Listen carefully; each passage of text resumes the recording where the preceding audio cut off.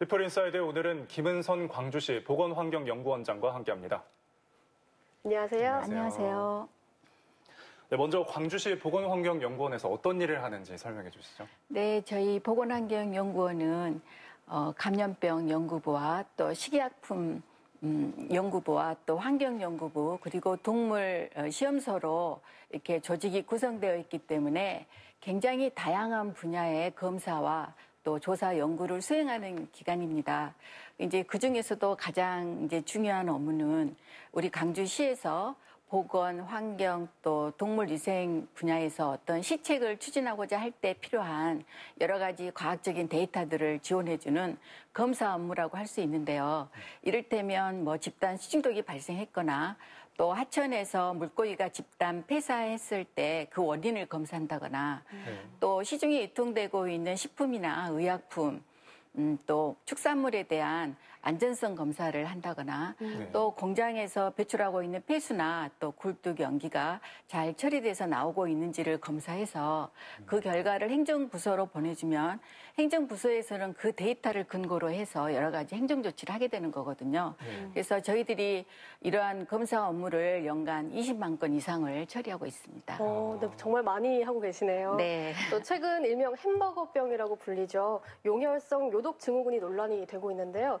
이게 오염된 음식이 원인이라고 하는데 이게 어떤 병인지 좀 설명 좀 해주시죠. 네, 햄버거 패티는 식육 가공품이기 때문에 그 동물의 장내에 있는 병원성 대장균에 그 오염될 가능성이 굉장히 높은 식품입니다. 그래서 네. 잘 익혀야 하는데 아마도 그 조리 공정상 그 열처리가 잘 안 돼서 이런 문제가 된 것 같은데요.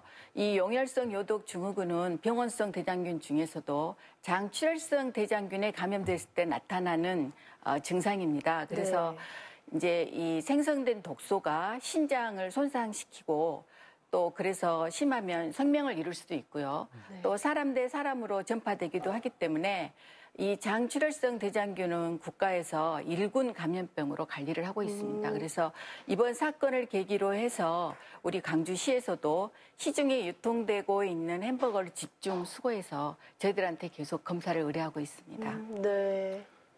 이, 특히 여름에 식중독이 많이 발생하는데요. 이를 대비해서 연구원에서 혹시 추진하고 있는 일이 있다면 무엇이 있을까요? 네, 식중독이 발생했을 때 그 사후 조치를 잘 하는 것도 중요하지만 그보다는 식중독이 발생하지 않도록 사전에 예방하는 게 더 중요하다고 생각합니다. 네. 그래서 우리 강주시에는 그 학생들한테 급식을 제공하고 있는 학교가 307개소가 있어요. 그래서 그 학교 급식소에서 사용하는 뭐 칼, 도마, 행주와 같은 조리기구 그리고 식품에 대해서 식중독 원인균을 저희들이 주기적으로 체크를 하고 있고 네. 또 여름철에 문제가 많이 발생하는 팥빙수나 또 냉면 또 콩물국수 이런 여름철 성수 식품에 대해서도 저희들이 굉장히 꼼꼼하게 검사를 하고 있습니다. 네, 그러면 일상생활에서 이 식중독을 예방하기 위해서는 어떤 점을 주의해야 할까요?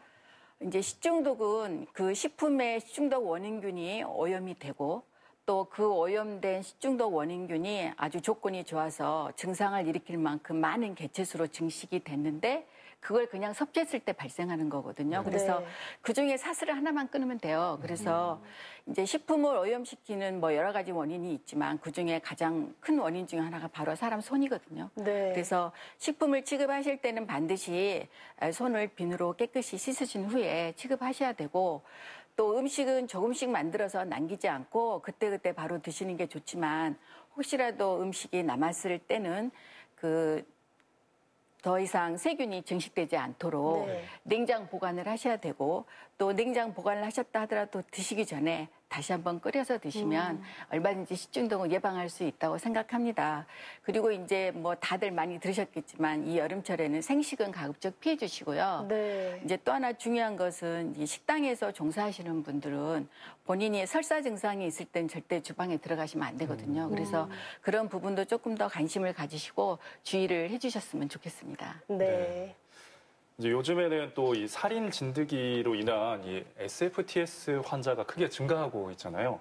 상당히 생소한데 이 바이러스가 무엇인지 좀 설명해 주시죠. 네, 저희 SFTS는 중, 죽중 열성 혈소판 감소 증후군으로 네. 되게 작은 소피 참 진드기에 의해서 매개된다고 알려진 열성 질환입니다. 네. 그래서 이 질환이 우리나라에 처음 알려진 게 2013년인데 네. 그몇 년 안 되는 사이에 굉장히 환자가 많이 증가를 해서 네. 올해도 벌써 환자가 43명이나 발생을 했거든요. 오. 근데 이제 우리나라 기후가 점점 아열대성으로 가고 있기 때문에 이제 앞으로 이러한 열성 질환이 점점 더 크게 증가할 거라는 게 전문가들의 공통된 의견입니다. 음, 그럼 이 진드기에 물리면 무조건 감염이 되는 건가요? 네, 진드기에 물렸다고 해서 무조건 감염되는 건 아니고요. SFTS 바이러스를 보유하고 있는 진드기에 물렸을 때 감염이 되는데 질병관리본부의 조사 보고서를 보니까 그 바이러스를 보유하고 있는 진드기는 0.5% 미만에 불과하다고 되어 있고요. 또 저희들도 2014년부터 그러면 우리 지역에 어떠한 종류의 진드기들이 서식하고 있고 또 개들이 과연 병원체를 얼마나 가지고 있을까 하고 이제 그 매월 필드에 나가서 조사를 하고 있는데 지금까지 조사 결과를 보면 우리 지역에는 그 아까 말씀드렸던 작은 소피 참 진드기가 네. 네. 90% 이상을 차지하고 있더라고요. 아. 그런데 어. 다행히도 바이러스를 보유하고 있는 개체는 아직까지 한 마리도 없었습니다. 어, 다행이네요. 네. 그리고 이 SFTS에 걸렸을 때이 적절한 조치는 무엇이고 또 이를 예방하기 위해서는 어떻게 대처해야 될까요? 네, 일단 SFTS에 감염이 되면 잠복기가 한 일주에서 2주 되거든요. 네. 그러면 이제 잠복기가 지난 후에 고열이 발생하고 구토와 설사와 같은 소화기 증상이 동반하게 돼요. 그래서 야외 활동을 한 이후에 이런 증상이 만약 있으시다면 반드시 의사를 찾아서 정확한 진단을 받으셔야 되고요. 음. 치사율은 10%에서 30% 정도로 알려져 있거든요. 네. 그래서 이제 예방법을 물어보셨는데 이제 물론 진드기에 물리지 않는 것이 최선입니다. 네. 그래서 야외 나가셨을 때 풀이에 그대로 앉으신다거나 또 옷을 벗어서 풀이에 올려놓으시면 절대 안 되고요.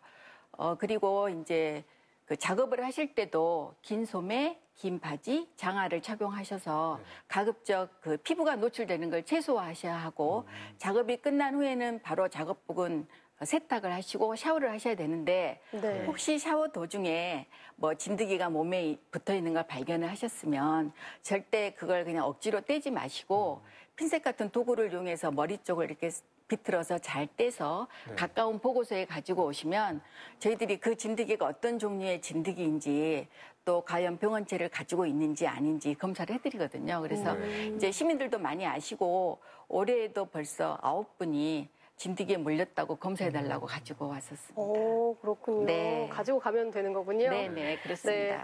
또 농산물에서 농약이 좀 많이 검출되고 있는 기사가 좀 있었는데요. 연구원에서 농약 관련된 검사도 하고 계신가요? 네, 저희 매월동 서부 농산물 도매시장 안에 저희 농산물 검사소가 있어서 현장에서 바로 검사하고 있습니다. 그래서 어, 네. 채소류는 새벽 5시에 첫 경매가 있고 거기 경매에 내일 농산물들이 그 전날 저녁부터 들어오기 시작하거든요. 네. 그러면 저희들이 밤에 나가서 무작위로 어, 샘플링을 해서 야간 검사를 실시하는데 대략 어, 4시 저- 이전에 새벽 4시 이전에 검사가 끝나게 돼요. 네. 그래서 이제 검사 결과 부적합한 농산물에 대해서는 아예 경매가 되지 않도록 음. 바로 현장에 나가서 압류 폐기하고 있고 적합한 농산물은 이렇게 농약 검사를 거친 안전한 농산물이다 하는 노란 스티커를 박스에다 다 붙여주거든요. 네. 그래서 검사 정보를 시민들께도 바로바로 제공해드리고 있습니다. 네.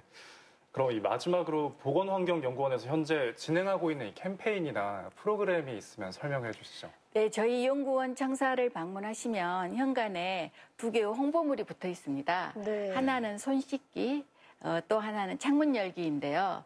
이제 비용도 아- 들이지 않으면서 가장 효율적이고 확실하게 가족 건강을 지킬 수 있는 방법이기 때문에 네. 어, 많은 분들이 실행에 옮기셨으면 좋겠고요. 물론 창문 열기는 미세먼지가 없는 날에 하나는 것입니다. 네.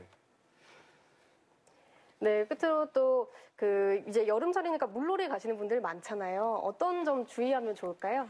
네, 이제 지금 물놀이가 많기 때문에 수계 환경을 좀 철저히 관리해야 될 시기거든요. 그래서 강주 지역의 물놀이 지역으로 지정된 곳이 두 곳이 있어요. 황룡강 인곡교하고 광주천 상류에 주화모물이 방류되는 그 두 곳이 있는데 그곳은 저희들이 매주 나가서 수질 검사를 하고 있고요. 어, 네. 그 다음에 공원이나 공공시설에 설치되어 있는 바닥 분수나 물놀이 시설도 매달 어, 정, 저기 정기적으로 의무 검사를 하고 있고 네.